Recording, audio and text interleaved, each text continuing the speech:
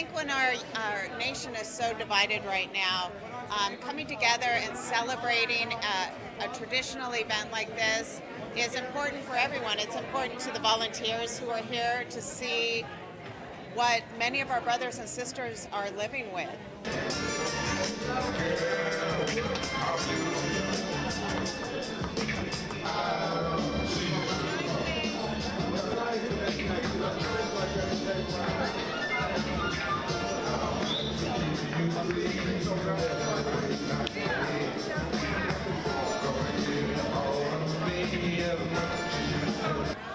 Our seventh annual Nowruz at the Midnight Mission. Uh, we'll probably serve a couple of thousand people at this event, but at the Midnight Mission, we serve just under a million meals a year.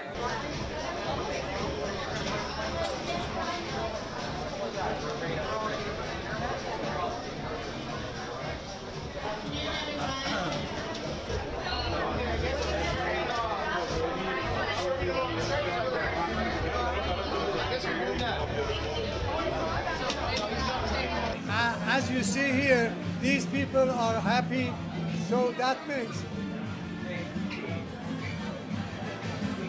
it's awesome. Please go Mr. When they, uh, by the stage.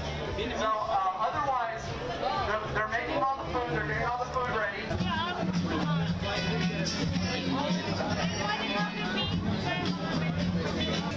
ما با کمک ایرانیایی که کمک می‌کنن به ما لباس میدن پول میدن کمک های مالی می‌کنن و هر شود که این برنامه رو اجرا می‌کنیم و خیلی هم خوشحالیم و خوشحالی این بیخانه ها رو که می‌بینیم راضی هستیم و راحت میشیم.